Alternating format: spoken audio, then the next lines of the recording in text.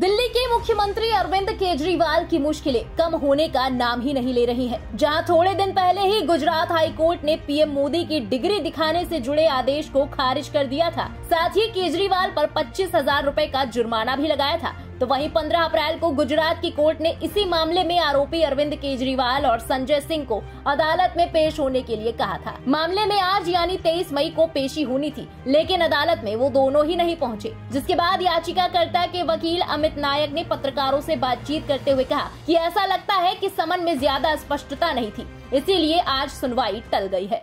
पंद्रह चार को प्रिडिसेसर जज साहब ने जो ऑर्डर किया था, दोनों आरोपियों को हाजिर रहने का नामदार कोर्ट में उसके सिलसिले में आज डेट था but there seems to be कुछ समन्स में क्लैरिटी नहीं है तो उस हिसाब से साहब ने जो नए जज साहब आए उन्होंने ऑर्डर किया है दैट दोनों एक्यूज पर्सन जो हैं, उनको वापस से समन्स इश्यू किए जाए कंप्लेन की कॉपी के साथ।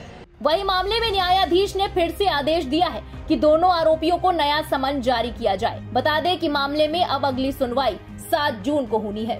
बता दें कि प्रधानमंत्री नरेंद्र मोदी की डिग्री की जानकारी मांगने वाला मामला सात साल पुराना है।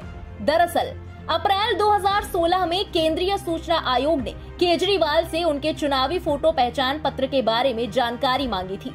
इसी दौरान अरविंद केजरीवाल ने आयोग से कहा था कि वो सीआईसी को अपने बारे में आवश्यक जानकारी देने के लिए तैयार है। लेकिन साथ ही ये भी कहा कि पीएम मोदी को उनकी शैक्षिक डिग्री के विवरण का खुलासा करने के लिए कहा जाना चाहिए। गौरतलब है कि केजरीवाल के जवाब को सीआईसी ने बतौर एक नागरिक का आरटीआई आवेदन माना। इसके बाद तत्कालीन मुख्य सूचना आयुक्त एम श्रीधर आचार्युलू ने प्रधानमंत्री कार्यालय को दिल्ली विश्वविद्यालय और गुजरात विश्वविद्यालय से पीएम मोदी की स्नातक और स्नातकोत्तर डिग्रियों की विशिष्ट संख्या और वर्ष प्रदान करने का निर्देश दिया था। ये आदेश इसलिए दिया गया था कि पीएम मोदी से संबंधित कोई भी दस्तावेज़ खोजने और प्रदान करने में आसानी हो। बहरहाल, अब देखना ये होगा कि पीएम मोदी से जुड़े इस मामले में सीएम अरविंद केजरीवाल और आप सांसद संजय सिंह को राहत मिलती है।